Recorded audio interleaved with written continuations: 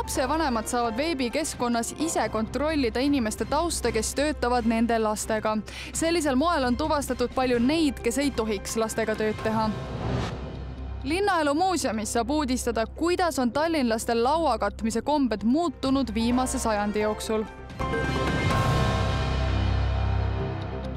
tere, eetris on Tallinna uudised suvine koolivaheaeg toob rohkelt laste ja noorte laagreid, kus teiste seas asuvad tööle ka hooajatöötajad.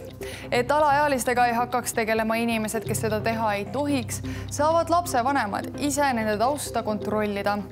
tuleb välja, et viimase aasta jooksul on sel viisil tuvastatud lausa kümneid inimesi, kelle minevikus sooritatud süütegu ei lähe kokku sellega, et töö on seotud lastega nagu igal suvel on ka tänavu Tallinnas lastele ja noortele kavas üle saja erineva laagri, toimub mitu suuremat noortefestivali ning tasuta treeningud.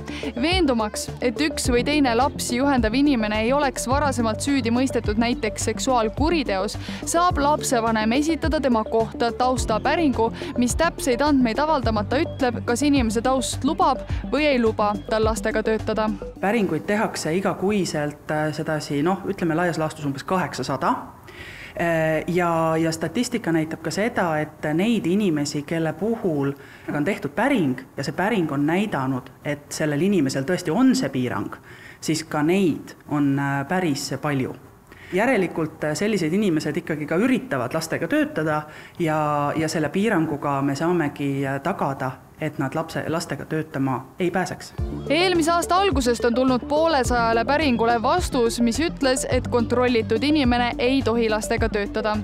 üldjuhul annab kontroll lapsevanematele aga südamerahu kohustus inimese tausta kontrollida enne tööle võtmist lasub lasteasutusel ehk tööandjal, pärast mida peab ta pikaajalise töötaja puhul kontrolli kordama iga aasta tagant. ja alati, mida meie vaatame, ongi see pool, et sellel laagri kasvatajal, juhatajal oleks siis tegelikult vastav kutsetunnistus. et see on hästi-hästi oluline ja kui juhtub nüüd niimoodi, et äh, noor osaleb võib-olla sellises laagris, mis on ütleme, vähem kui kuus päeva, siis seal kindlasti on soovitus lastevanematele see, et igaks juhuks laagri korraldajad küsida, et, et kes on need äh, põhimõtteliselt need laagri juhendajad, mis on nende kvalifikatsioon ja selle pinnalt siis juba saab edasi tegutseda. taustakontrolli päringu saab lapsevanem esitada veebilehel e-toimik.ee lennusadama avab emadepäeval taas uksed külastajatele. allveelaev Lembit on nagu ikka omal kohal, aga juurde on tulnud allveearheoloogia osakond. uues ekspositsioonis on mõeldud ka vaegnägijatele muuseumimaailm areneb ja uuendamist vajas Lennusadamas asuv ekspositsioon. juurde tuli kaasaegseid lahendusi, millistega luuakse emotsioone allveepärand on rikkalik. meie merepõhjas lebab tuhandeid laevu ja paljud neist ootavad veel avastamist. tänapäevaste vahenditega on võimalik aga näha, kuidas nad merepõhjas võivad välja näha see, kus me praegu oleme, on kogu allveearheoloogia ala, et, et see on siis loodud niisugune imaginaarne laevavrakk, mis on siis kolmeks tükiks läinud vee all ja iga osa siis peidab endas mingisugust, kas siis esemeid, mingisugust lugu laevavrakkide osas on võimalik puutetundlikul ekraanil ise otsida uppunud laevade asukohti ning lugeda selgitusi ühe või teise aluse kohta. valdavalt on tegemist sõjalaevadega suurt tähelepanu on pööratud erivajadustega inimestele. Nende jaoks on paigas uudsed tehnilised lahendused, mis hõlbustavad eksponaatide kohta info saamist ning liikumist. kassast eh, peale tulles hakkavad siis, me kutsume neid taktiilseid eh, rajad, mis on siis, on võimalik eh, mööda neid radu täpselt liikuda, siis nendesse kindlatesse kohtadesse, seal on ka siis reljeefsed tekstid või on kombatav mudel siin vaatab vastu Maasiliina laeva vrakk, milline avastati tuhande üheksasaja kaheksakümne viiendal aastal Orissaare külje all Väikese väina põhjast. Ja see vrakk on saanud juurde mõningad täiendused. Samas on kõrval ka väikene vraki mudel, mida saab rahulikult katsuda, ka see laev, mis võis kunagi selliselt välja näha. Ja see on kogu, peaaegu et kogu ekspositsiooni ulatuses. Meremuuseumi juhataja Urmas Treesen on nelja kuu jooksul aset leidnud muutustega rahul kümneaastase välbaga niisugune põhi- või püsiekspositsiooni uuendamine on täitsa, ma arvan, et normaalne. Uuenenud ekspositsioon jutustab ka Eesti mereväe käekäigust ning annab ülevaate sellestki, mis ühendab näiteks Eesti ja Peruu mereväge kas teadsite, et kui olla tuttav kuue naabriga oma kodu lähedal, suureneb tõenäosus kauem elada viiekümne protsendi võrra ning et turvalisuse tagamisel on lähedased suhted kogukonna liikmete vahel efektiivsem meede kui politsei kohalolu. kuidas seda kõike saavutada Tallinna tingimustes? Paljud Tallinna inimesed naudivad suurlinnas elamisega kaasnevat anonüümsust, mis võimaldab rahulikult omi asju ajada ilma kellegi võõra sekkumiseta. ometi ütlevad kogukonna teadlased, et isiklikud suhted oma naabruskonnas elavate inimestega muudavad linnas elamise turvalisemaks. So you could take ten people in a neighborhood and ask how many people do they know by first name. We know now that if you know six people in your neighborhood, your chances of living longer increase by 50%. We know that if you talk with your neighbors, that your neighborhood becomes a lot safer, even more than having more police. ühelt poolt meil on ju polariseerumine, erinevad arvamused, erinevad nägemused. samal ajal meil on ka selline usalduse defitsiit, räägitakse demokraatia kriisist.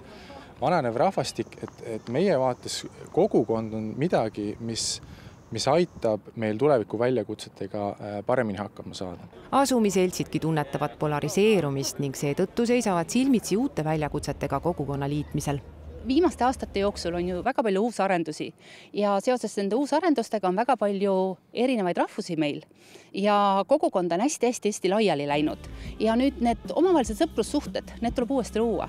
Ja ainult läbi tegevuse, ainult läbi mm, selliste toredate sündmuste nagu Kalamaja päevad on seda võimalik teha. Ja ma loodan, et me kogukond taas loo, loob ennast ja tagasi läheme juurte juurde juba koos uute elanikega et kogukonnad muutuksid tugevamaks ja ühiskond seeläbi sidusamaks, saab kohalik võim palju ära teha. näiteks võttes arvesse iga linnaosa juures tegutseva linnaosakogu arvamust, toetades kodanikualgatusi, Tallinnas näiteks linnaaiandust või kogukonnapäevi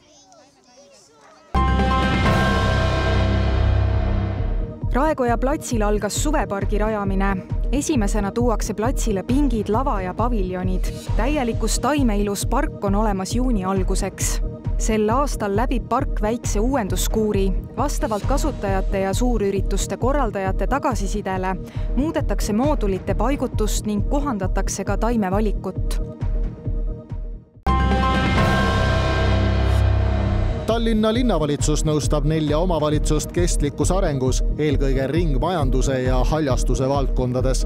Tallinn käivitas Euroopa rohelise pealinna aastal rahvusvahelise kompetentsikeskuse, mis koondab ja jagab parimaid praktikaid, teadmisi ja kogemusi kestlikkuse teemal nüüd hakataksegi nõustama Ukrainas ja Gruusias ning Saaremaal ringmajanduse küsimustes. teadmist, mida jagada, on päris palju kogunenud, et võtame siin kasvõi näiteks eh, ühekordsete nõude teema, mis eh, sai Tallinnas eelmisel aastal eh, väga suure hoo sisse, teame kõik laulu- ja tantsupidu, kus ei kasutatud ühekordseid nõusid, et see on üks suur teema, mida me saame kindlasti edasi oma kogemusi jagada.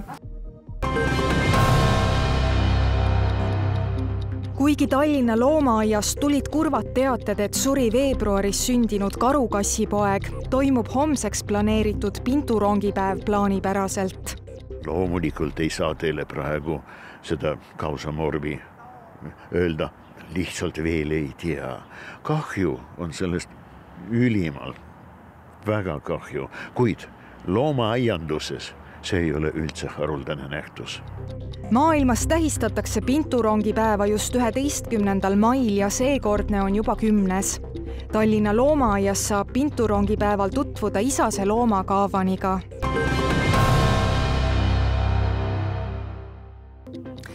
kaavaniga loomateemadel ka jätkame. maikuus algas taas metsloomade aktiivsem liikumine, mistõttu Transpordiamet palub sõidukijuhtidele olla eriti ettevaatlik, sest teele võivad sattuda põdravasikad, metskitsed, siilid, jänesed, konnad ja paljud teised loomad.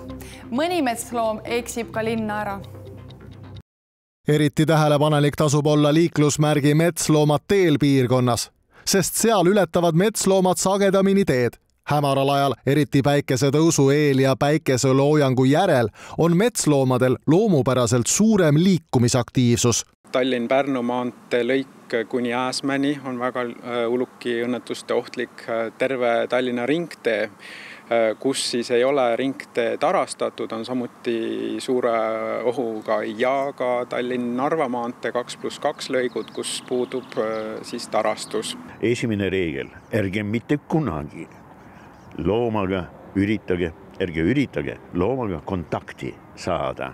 Ärge võtke sülle, ärge lähenege, ärge pakkuge jumal hoidku. Ma ei tea, põdra pullmullikale, kes tavaliselt satuvad igal kevadel Tallinna linna territooriumile, ärge pakkuge talle leiva soolaga, eks ole, ta lööb teid maha. Riigi infotelefonil üks, kaks, neli, seitse registreeritakse aastas ligi kuue tuhande looma hukkumine. Nendes õnnetustes saab vigastada umbes kakskümmend kuni kolmkümmend inimest aastas. andke teada, üks, kaks, neli, seitse, üks, kaks, neli, seitse ja loomulikult üks, üks, kaks, need telefonid jah, on alati aktuaalsed, töötavad, nii et mitte mingit üritust. Astuda kontakti, ärge kisendage, ärge sosistage, ärge lähenege, eks ole, ja ärge jookske. Kui selleks loomaks on näiteks noor isane ilves, aga ta on ikkagi juba suguküps loom, kes satub Tallinna linna, mis on täiesti võimalik. selliseid juhtumeid hiljuti oli ju. ennekõike tähelepanelikkus, tähelepanelikkus ja loomulikult ka piirkiiruse valik. et ma tahaks öelda, et kehtestatud piirkiirus ei ole kohustus, vaid see on võimalus ja isiklikult küll valiksin näiteks Tallinn-Narva maantee neljarajalisel osal, kus ei ole äh, tarasid teeservades pimedal ajal sõidukiiruse oluliselt madalama kui sada kümme, mis on suvisel ajal seal lubatud linnaelumuuseumis saab näha, kuidas on erinevatel ajastutel tähtsaid eluhetki tähistatud. näiteks on hapukurgid ja rosolje olnud meie pidulaual juba sajand tagasi. Muutuvad ajad ja kombed, peolaud alati jääb. eestlaste laud on reeglina olnud külluslik. Eesti aeg kartulisalati ja rosoljega. Nõukogude ajal poodides midagi saada ei olnud, aga vaadake, lauad olid lookas ja Eesti Vabariigi aeg tänapäev juba tervislik kalatoitudega näitus Palume lauda tutvustab Linnaelumuuseumis tallinlaste lauakatmise kombeid ning peotoitusid. ajasillal kohtuvad erinevad ajastud. kolmekümnendatel aastatel olid äh, lapsed väikesed, nendest kaheksakümnendateks aastateks olid saanud krapsakad, keskeas vanaemad. Ja nüüd siis omakorda aastal kaks tuhat kakskümmend neli nende lapsed ja lapselapsed katavad lauda. Laual on alati olnud kartulisalat ja suupisted ning jooki kuulus kombe kohaselt kõige juurde. tõepoolest hapukurgid, rosolje, mis oli moetoit kolmekümnendatel aastatel, ta on kogu aeg eestlaste pidulaual, et kuuekümnendatel tuleb juurde kartulisalat, sellepärast et hakati valmistama kvaliteetset majoneesi. Ja sai teha hapukoore majoneesi kastme. Peolauda ehtisid serviisid ja taldrikud, omaette vaatamist väärib Läti portselan. Neil on väga tugev potentsiaal saada emotsionaalseteks esemeteks, sellepärast et liiatigi veel siis, kui nad on seotud mõne väga kalli inimese mälestusega, nad on jõudnud perekonna reliikviatena meie pidulauale. Pidulikul laua katmisel on meie elus niivõrd tähtis osa. miks me seda teeme? me võime ju väga lihtsalt, kiirustades, praktiliselt lauda katta või üldse katmata jätta, aga see kuulub inimeseks olemise juurde. noorusaja pidulaud tuleb meelde ja siin vaatavad vastu lahutamatud kaaslased, singirullid, täidetud munad, see marineeritud seened ja hapukurk näitust Palume lauda saab Linnaelumuuseumis uudistada selle aasta lõpuni kümnenda mai ilm on olnud aastate lõikes väga erinev. näiteks tuhande üheksasaja üheksakümne üheksandal aastal sadas maha paks lumi, mis jäi püsima terveks nädalaks. vaatame, millist ilma selleks nädalavahetuseks lubatakse.